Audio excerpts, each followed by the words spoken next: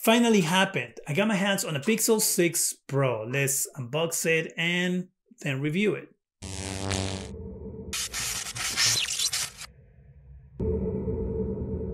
Hi, welcome to ZGadget Review Pixel 6 Pro. It comes in a very, very skinny, small box, which I'm gonna go ahead and open now. You have tabs here on the sides for the tape.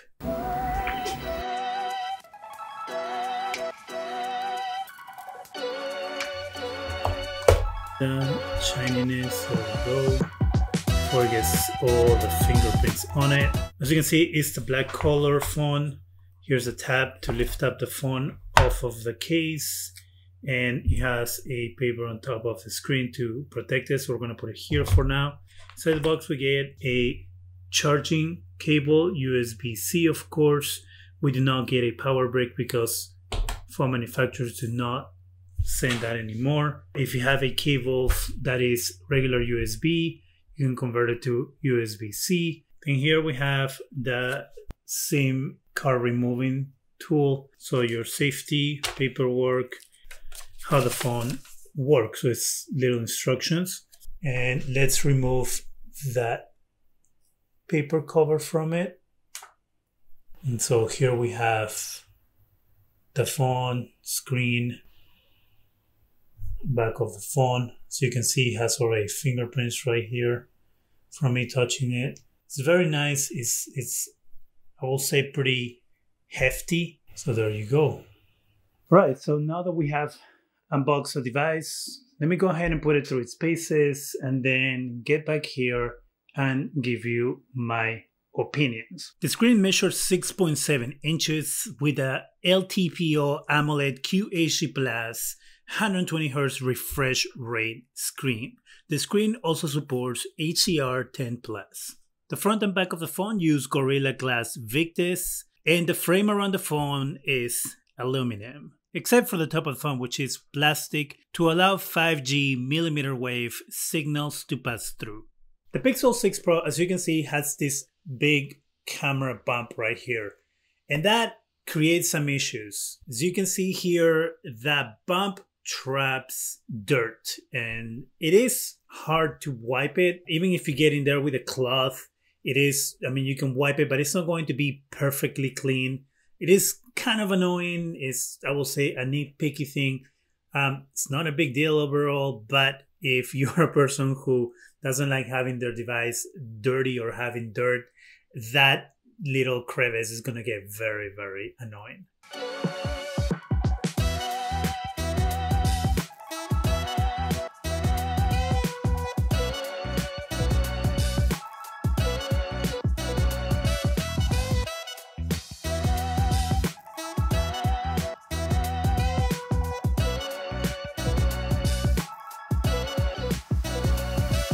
part of the review, and in order to do some camera tests, I went to the Lincoln Memorial. I have the phone here, which I'm I have the GPS going on it. Uh, it's about a 25, 28 minute drive. I've been watching some YouTube videos uh, this morning before I started filming. As I'm driving there, I'm going to play one game on xCloud for the length of the drive to kind of get an idea of um, how much battery that drains and all that. So here we go. I had some issues connecting. As you can see, it says trying to reconnect, go home. So playing um, xCloud on the road might not be the best thing to do. Right now, the phone is connected to Google Fi 5G. So as you can see, it seems like Google 5G isn't the best connection having issues. Well, I'm not a huge fan of the fact that the screen rolls on the sides like this. It is useful when you have a map like I do running right now, where you can put it on the side and still have the rest of the screen useful. Right now I'm using the back camera and I have that they have a feature for the zoom microphone which is supposed to allow you to get rid of some of the sound around you. So right now I have it turned off. I'm gonna go ahead and turn it on to see if we can hear a difference between one and the other.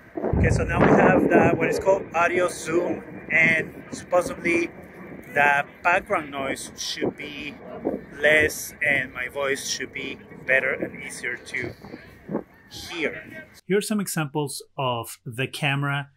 I took some pictures by changing the zoom on the camera in order to show you what it looks like. I am at the Lincoln Memorial, which is pretty far away from the Washington Monument. And so here I'm showing you the different distances of the camera lens and what an image looks like. Here we're at 10 times zoom, and here we are on the next bar at 20 times zoom, which is not, which is done by software, it's not done by the lens. But the image, the picture that comes out of it looks pretty good. Where I thought it will have a lot of noise and look with a lot of grain, like it will have a lot of grain. But it's actually pretty good. And you can tell where the people are, and they're not like blogs or anything like that. You have a closer look at the image. I got closer to the image. You can see here on the sides that there's a little bit of uh, haloing on the sides but that's to be understood. It's again 20 times zoom and it's a very long distance. I will show you in a minute how far away this monument is from where I was. Then here we have the other image and you can see the bottom of the monument and you can see the people there, the cars. I am very impressed with how the camera handles these images. Here we're inside the Lincoln Memorial and as you can see there's enough light that comes in this is me against the light with the light behind me. But you can see the camera is actually doing what it's supposed to do and it isn't over brightening or darkening things. Here's some more examples of how the camera zoom works. I'm trying to take a picture of a horse in the background, which is pretty far from where I'm standing. And so I'm using the different zooms in the camera to get the picture of the horse. And as you can see, the image looks really, really good, even though I'm far away from it. And here we have a portrait picture of myself and it actually blurs the background well even though it was windy and for example here my hair was messy uh, flowing due to the wind pretty much kept my hair entirely within the picture. Here we have an example of what a night shot looks like.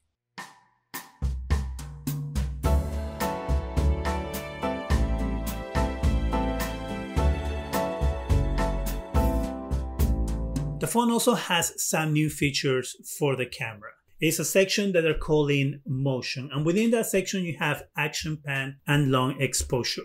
Action Pan focuses on a moving subject and adds a creative blur to the background. As you can see, the background is blurry while the subject is in focus. It was actually really easy, and the results are not bad at all. The other feature is called long exposure, and this adds a creative blur to moving subjects in the scene. Again, all you do is hold the phone to the subject.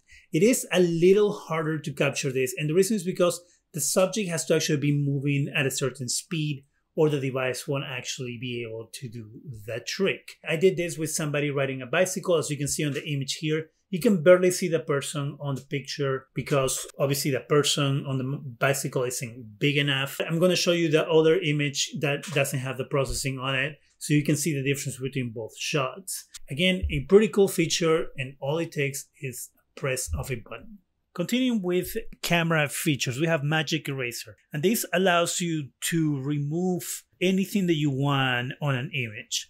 All you have to do is paint over what you want to remove, and the AI in the phone will recognize what it is you're trying to remove, and it's going to remove it for you. There, I got most of the person and you can kind of see from afar that there might have been something there. Maybe if I show you this picture and you had no clue that there was a person there. Once we get closer, that's where you can see the detail and whether the phone is doing a good job at replacing, in this case, person with another set of steps in order to make the image look the way it needs to look. And I will say for the most part, it looks good. It looks okay. You know, there's it's a little blurry. There's a little weird stuff going on on the other person's legs, and that's because the person's head was on top of that person's feet. Here I have the picture of a duck in the water, and once I press Magic Eraser, as you can see in the background where the people are, is giving me suggestions if I want to remove them. So that's something else that Magic Eraser will do. So it will suggest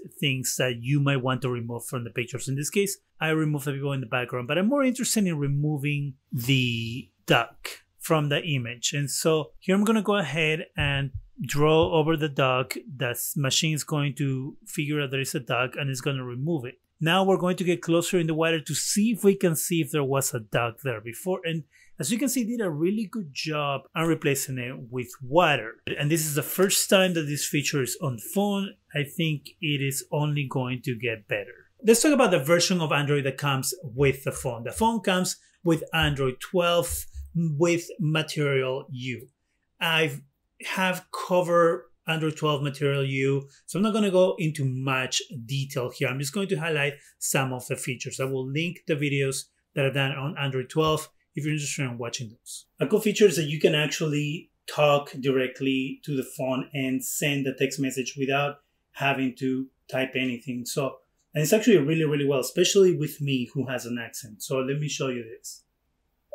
I would like to have some pizza today because pizza is the best food that I have ever had, and I cannot wait to have some more tonight. Send the text message was sent. And that was really, really fast and easy. Let's try the translate feature. I have it set to Spanish because I speak Spanish. So if I wanted to uh, type something in Spanish for it to go into English, this is how you will do it. So I'm going to press here and I'm just going to speak into it. Hola, mi nombre es Carlos. Me gustaría decirte sobre el Pixel 6 Pro. Es uno de los mejores teléfonos que he tenido en mis manos. Send. And there is a translation. Pretty cool, huh?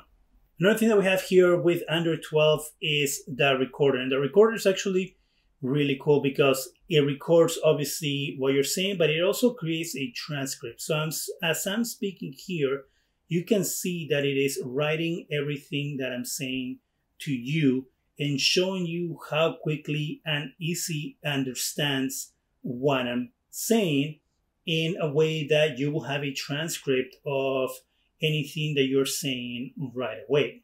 Another feature of Android 12 is the device will pick colors depending on your wallpaper. So if I want to change my wallpaper, let's say that I want to go with one of these here. Let's go with this one, seems pretty colorful. So the phone technically is going to pick the colors that are the best for my home screen. So I have it set here to home screen. So we're going to set it. And as you can see, it changed the colors on the clock. So you can see there, there's different accent colors that we can pick from. When we pull down here, you can see that the colors here on the menu have changed. So when I put the volume up, it's going to change as well. So it does make changes for you that way. Another thing that we can use here is live caption. And what this is going to do is going to caption video, for example, like we have here. You know, doing a caption of what I'm saying. One of the things that I'm not a huge fan of is the hole punch camera because if you're watching something that covers the whole screen, you're going to have that space there always staring at you, telling you, hey, look, there is a hole on the screen. Sometimes you don't notice it, like here, but if you have anything that's normal content like this, you will always see that. I personally don't like having video on the whole screen because it cuts off top and bottom of the screens, so you lose some of the content in the image, but that's my preference. The device always felt very responsive, and when you're scrolling, is very, very smooth, as you can see. We're going to test how the fingerprint sensor works here. So you can see it takes a couple of taps for me to get the phone on. And then it is hit and miss. As you can see here, I'm having a couple of tries before that phone actually reads my fingerprint and it turns on. But then later on, when I try it once, just putting my finger on it, it works really fast, pretty much immediately without any issues. here we have the March 2022 update. We're going to test how the fingerprint sensor works this time and also there's been some changes on the animation. What they haven't changed is how you that you gotta wake up the phone by pressing on it once. And we're gonna go ahead and put my finger on the sensor. And as you can see it worked immediately. It was quick and it didn't make me do it more than once. I'm gonna show you how the animation has changed there's this uh, cloud of light around the fingerprint sensor that comes up when you put your finger on it. Did you see that? So there's that um, that it lights up around where your finger goes.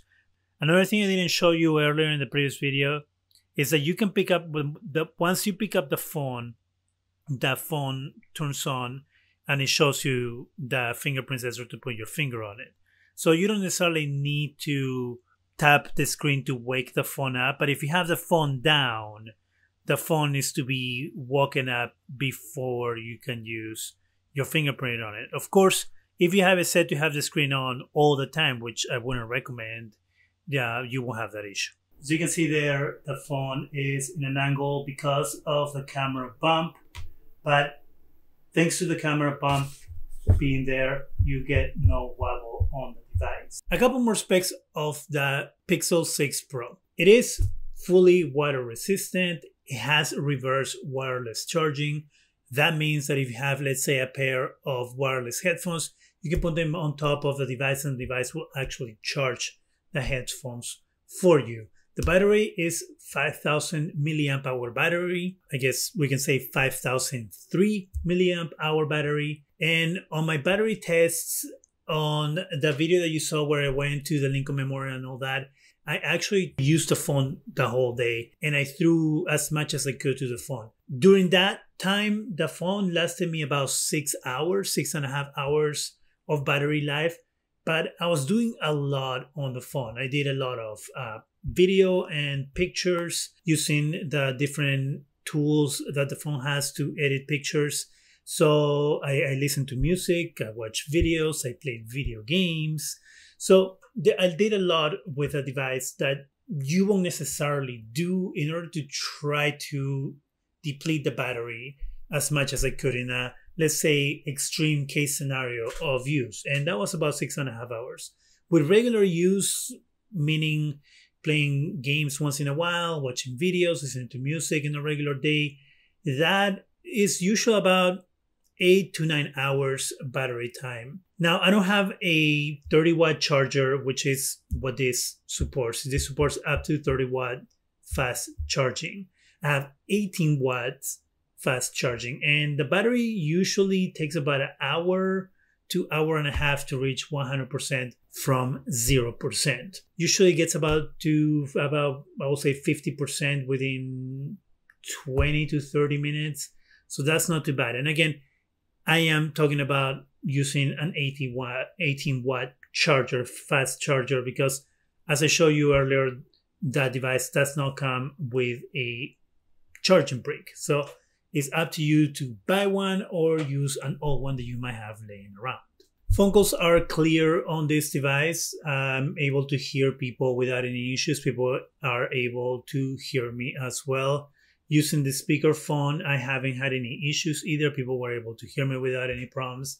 I was able to hear them too. The speaker, as I as, as I showed you earlier, there's a speaker on the top. The earpiece works as a speaker, and the speaker here on the bottom. That's how you get stereo sound. And I gotta say that the speaker on the top has a very very small amount of sound and there are certain content that where you will actually be able to tell how much louder the bottom speaker is compared to the top speaker. And that can be distracting. I was watching a couple of youtube videos and uh, depending on how they edited the sound i could i could tell that the sound was heavily coming out from the bottom of the device while the top of the device had very thin sound. And it happened with a few tv shows as well. So if you're watching content without a headphone, that might be a little bit of an issue. That might be distracting. The phone did get hot to the touch a few times while I was using it. I never felt that the phone got slower as it got hot, as sometimes it can happen with a device. And and I was happy with the performance of the phone. Google is using the Tensor chip, which is the first time that they have made their own silicon or design their own silicon to put in a device. And I think they did a really good job for being the first. Um, I will say that it's very compatible uh, or comparable to Snapdragon, the newer Snapdragon chipsets. That, that the way they have done the software along with the hardware makes the chip work very well. I personally did not benchmark it, not because I don't care about benchmarks, but you know, numbers tell you only so much and you, you can have the best numbers in the world but it doesn't necessarily translate to how the device behaves when you're using it. And i didn't have any issues opening cameras having multiple websites open at once or watching videos or anything like that. I was extremely impressed i must say. The phone overall feels good in my hand. I actually been using the phone for over a week now without a case. I do have a case that I'm going to put on, in, on it um, in order to, you know, long-term use. But for the review, I wanted to be able to hold it without a case to see how slippery it was, if it was, you know, dangerous to use it without a case. Well, the answer is yes and no. And the reason is because, yes, because it's all glass, front and back is glass. And the way this bump is here, the phone every time that you drop it, most likely is going to land on the back and most likely is going to land on that camera bump. So because the phone is essentially all glass, my recommendation would be yes, use a case. If you want to risk it, if you are adventurous, then in that case, you can take your chances. This phone isn't as slippery. I, I never felt like it was gonna drop off my hands. I never felt like I'm, you know, I might lose it as I'm holding it and things like that. The only thing is when you put it on surfaces, depending on the surface, of course, of it will definitely slide and fall off things. Uh, that happened to me a couple of times when I put it on the couch. A couple of times I actually use the bump, the camera bump, as an anchor um, in a way where I will hook the phone on something and then I will walk away, and that gave me the security that the phone will at least stay in place while I wasn't around. I usually don't recommend cases, but I personally got the Otter Series Symmetry case, which I'm going to link uh, down there too in case you want to get it. And I feel uh, confident this is going to work with the phone well. Personally, I prefer a clear case. Let's see. Let's put the phone in here and see what it looks like.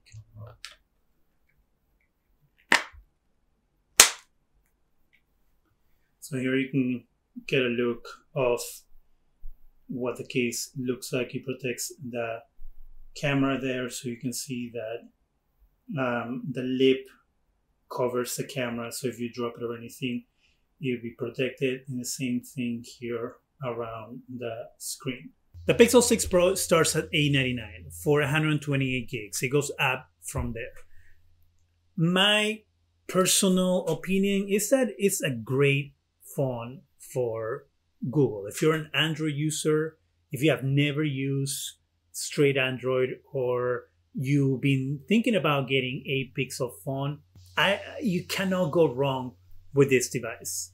As I know, as I pointed out, there are some issues. For example, the fingerprint scanner, which is a little slow to react. I wish that was a little faster. It did get a lot faster with the March update, as I showed you.